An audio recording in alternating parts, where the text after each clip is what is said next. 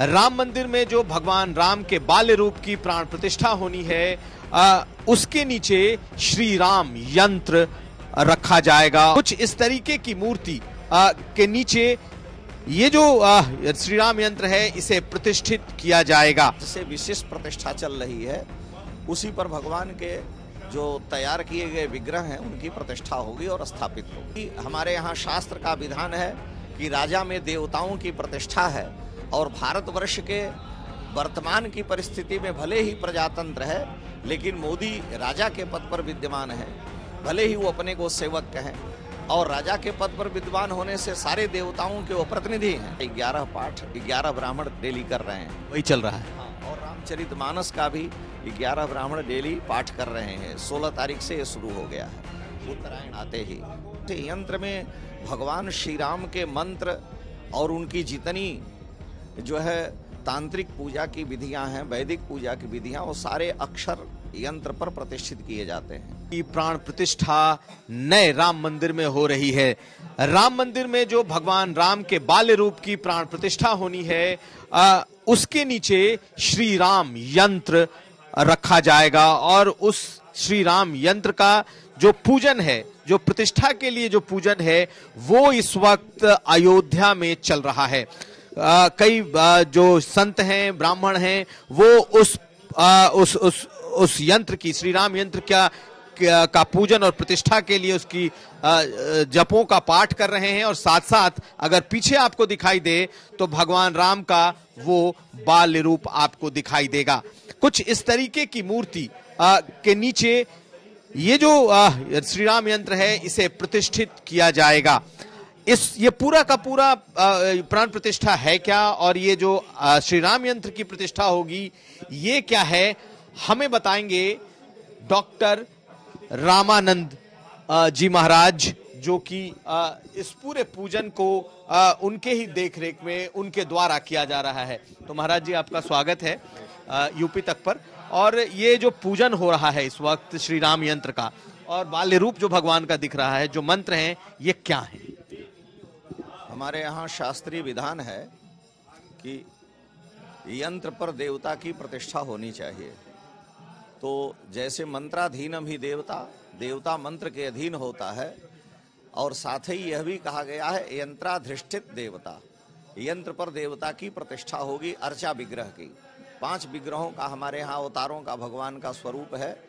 उसमें पर व्यूह, विभव, अंतर्यामी और अर्चा। अर्चा अवतार में भगवान सबके लिए सुलभ हैं। और वह श्री राम के जितने मंत्र और उनकी विधि है, वो यंत्र में अक्षर के रूप में प्रतिष्ठित है। और उसी अक्षर में यंत्र के ऊपर जिसकी नित्य पूजा होती आई, आज से विशेष प्रतिष्ठा चल रही है, उसी पर भगवान के जो तैयार किए गए विग्रह हैं, उनकी प्रतिष्ठा होगी और स्थापित होगी। महाराज जी, वो जो यंत्र हमें दिख रहा है, वो तांबे का जैसा बना हुआ है। तो वो यंत्र एक्चुअल में है क्या? मतलब उस यंत्र को अगर हम आम लोगों को समझाना चाहें, आम आदमी उस यंत्र को समझना चाहे तो जो यंत्र जिसकी जिसकी प्रतिष्ठा हो रही है, जिसकी पूजन हो, जिसका पूजन चल रहा है, वो है क्या? वो यंत्र एक तो तांबे का है, प्रायः उसमें अष्टधातु का मिश्रण है, लेकिन ताम्र प्रधान है। और जैसे कोई भी व्यक्ति बोलता है तो एक एक अक्षर का उसमें महत्व है।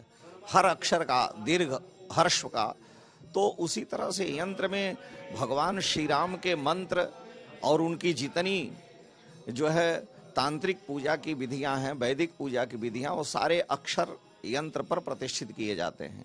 और उस यंत्र की विशिष्ट प्रकार से पूजा करके उसमें प्राण का आधान किया जाता है। और उस प्राण के आधान के बाद उस पर भगवान के विग्रह तो यंत्र तो शब्दाकार होगा, अक्षराकार होगा। और जो विग्रह होगा, वो मूर्ति के आकार का होता है। उस पर प्रतिष्ठा की जाती है। जैसे अयोध्यापुरी भगवान के सुदर्शन चक्र पर प्रतिष्ठित है। सुदर्शन चक्र भगवान का एक शस्त्र है, अस्त्र है। काशीपुरी भगवान के त्रिशूल पर प्रतिष्ठित है। तो सारी अयोध्यापुरी तो भगवान के सुदर्शन चक्र पर है। लेकिन भगवान का श्री विग्रह श्री राम यंत्र के ऊपर प्रतिष्ठित होता है और होगा।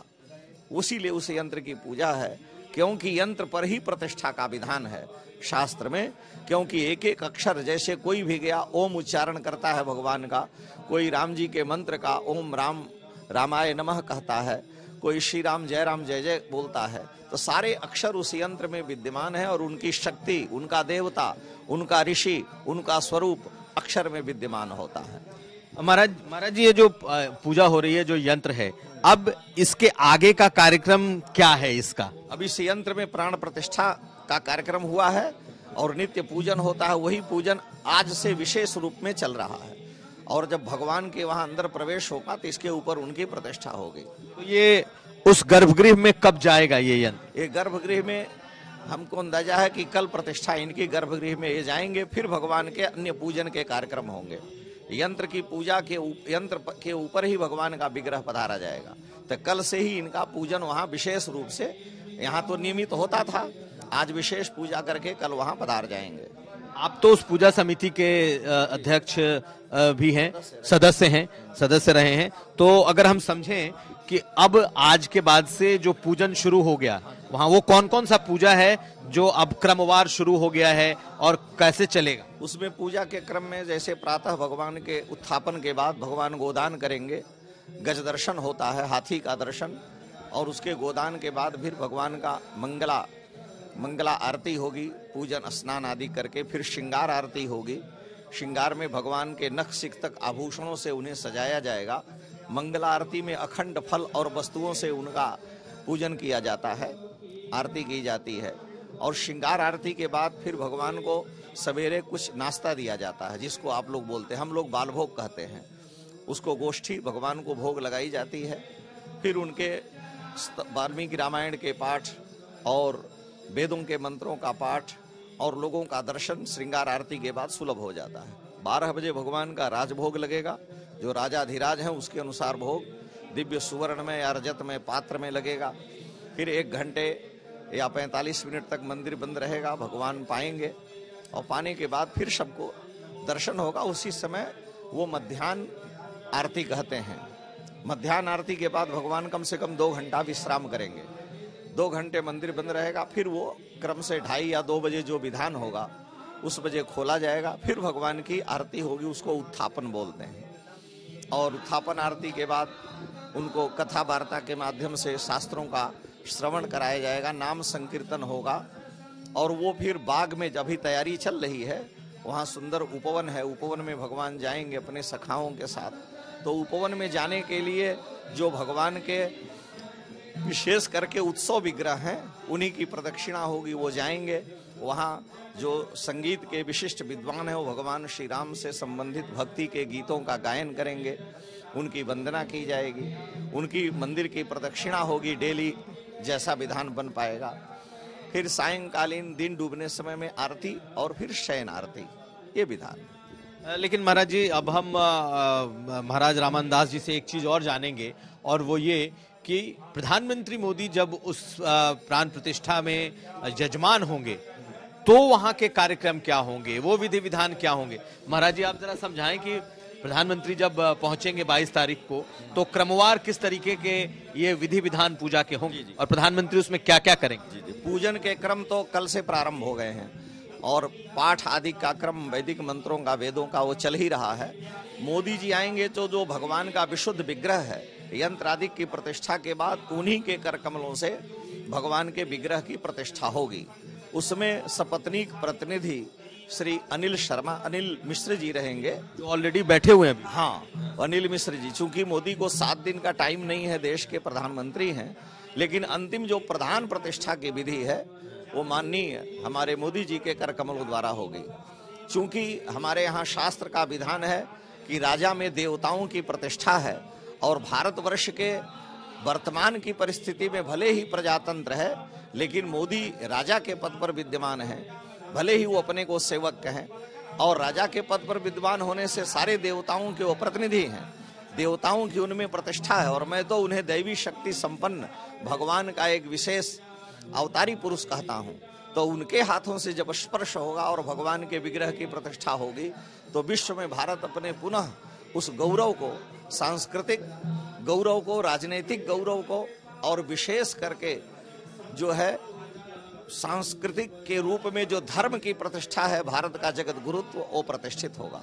तो लेकिन महाराज ये माना जाए कि अभी अनिल मिश्र जी कर रहे हैं सपत्निक। यजमान वो अभी हैं लेकिन वही यजमानी वो प्रधानमंत्री जी को दे दें हाँ प्रधानमंत्री जी के आगमन पर जो इनका कार्य है विशेष जो शेष सबसे प्रधान है वो श्री अनिल मिश्र जी प्रधानमंत्री के माध्यम से ही वहाँ संपन्न कराएँगे फिर वो प्रतिनिधि हो जाएँगे। अभी तक ये प्रतिनिधि हैं बाद में वो प्रधान हो जाएँगे ये प्रतिनिधि बन जाएँगे। एक बात और कही जा रही है कि जब भगवान राम की मूर्ति का जब प्राण प्रतिष्ठा की जाएगी तो सबसे पहले कोई नहीं देखेगा पहले खुद आईने में शीशे में भगवान राम को दर्शन कराए जाएँगे। उसकी शास्त्रीय विधि है कि भगवान को पहले सारे वस्तुओं से स्नान कराया जाता है। औषधियों से स्नान होगा, जल से स्नान होगा, दूध, घी, दही से स्नान होगा। स्नान की विधि जब संपन्न होने लगेगी तो उससे पहले ही भगवान के आँख पर आटा लगा करके कपड़े बाँध दिए जाते हैं और नेत्र बंद रहता है। क्योंकि जो भोग लगाया जाता है भगवान को, वो उनके आगे जो आरोगा जाता है, उसमें सबसे प्रधान जो चीज़ है, वो ये है नेत्र।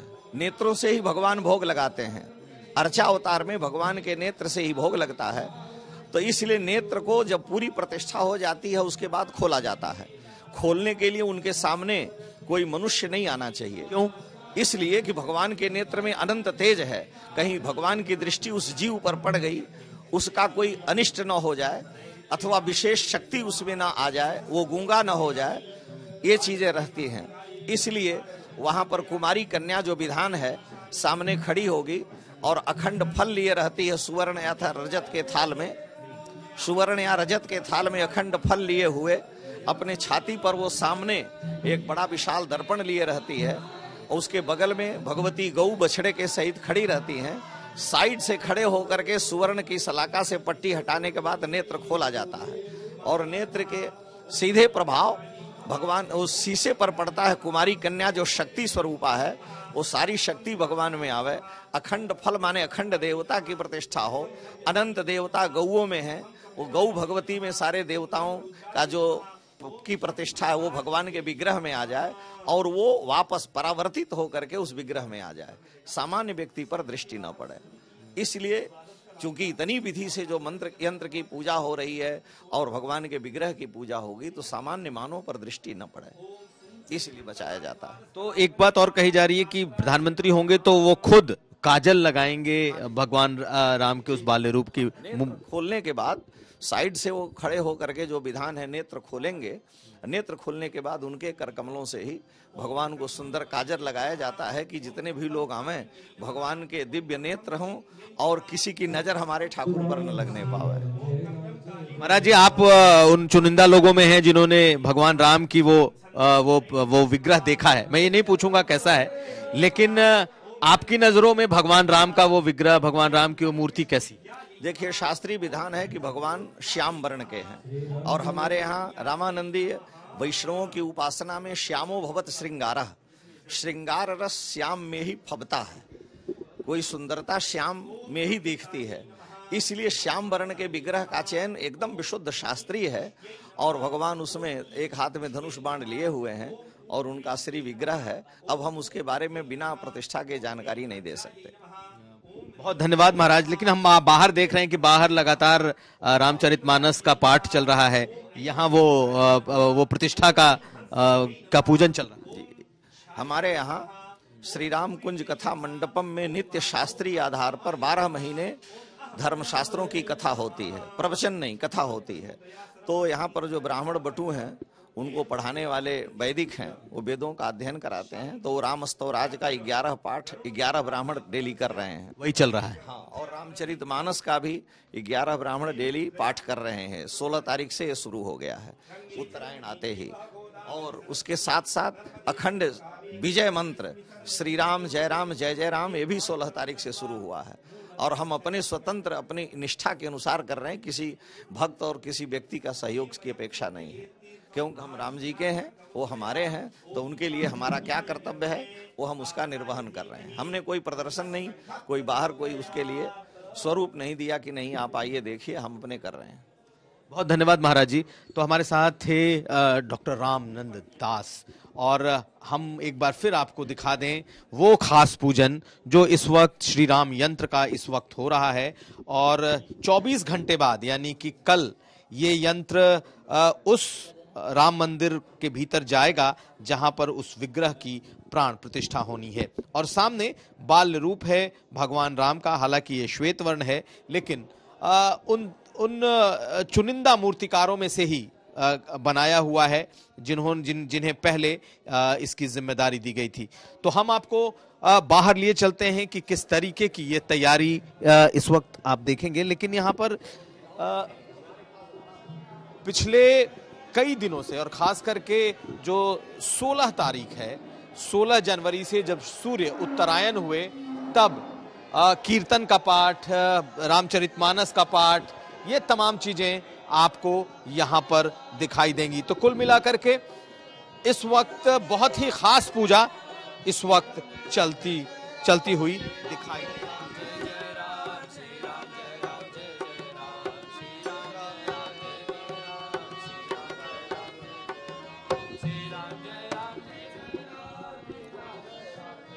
यूपी तक के लिए कुमार अभिषेक अयोध्या।